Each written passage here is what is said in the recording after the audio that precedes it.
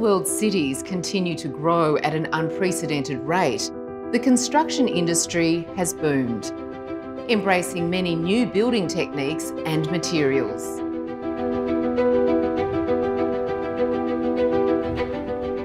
Over the last few decades, aluminium composite panels and expanded polystyrene have been widely used in construction. But as recent events have shown, some varieties of these materials are combustible. In the event of a fire, these combustible materials can contribute to the fire spreading. You may have some concerns that these materials have been used on your building. If so, here are some checks you can carry out, as well as some other places you can go for more information. The first step is to examine the outside of your building. To identify any expanded polystyrene, look for surfaces covered in render.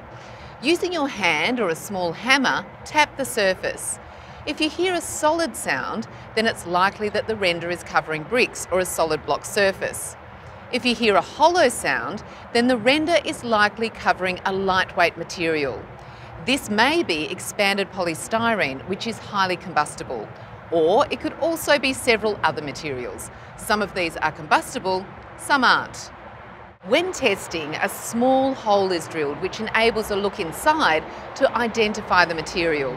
This should only be done by an appropriately qualified professional. At times, this sample may also need further laboratory testing to understand what the material is.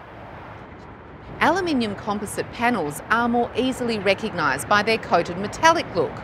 It's the polymer cores inside some varieties of these panels that have been found to cause fire to spread rapidly.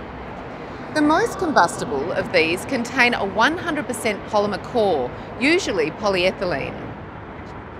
As these core materials are completely encased inside the aluminium, you'll need to get further information on what type of panels they are. Your owner's corporation or building manager, local council and the VBA may be able to help with this. If owners or the owners' corporations are wanting to know the cladding on their buildings, the first step would be to inquire with the council as to what documentation they have on the building. Permits will have the information of the builder, the owner, the build date, and the plans and documentation should include the type of cladding if you're a potential buyer, you can also check the Section 32 statements prior to purchase. These may contain information on combustible cladding, including any notices, reports and recommendations issued by the VBA or Council MBS. As Section 32 statements are sometimes prepared several months before sale, requesting an up-to-date Owner's Corporation certificate is a good idea. The VBA is also in the process of carrying out a statewide cladding audit. If you're unsure if your building has been assessed by the audit, it's a good idea to contact the VBA to check. If it's been assessed by the audit, the VBA will be able to share the assessment findings with you. Where a building has been identified with combustible cladding, total replacement may not necessarily be required and residents may actually be able to remain in their building while rectification works are being carried out.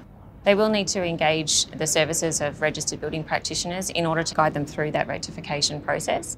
And that will typically involve engaging a fire safety engineer to assist with the design of the external cladding and some of the fire safety systems, a building surveyor in order to issue the building permit, and obviously a builder in order to uh, carry out those works. It's in the interest of everyone's safety that buildings are properly assessed and, if needed, made safer. The VBA is taking a collaborative approach.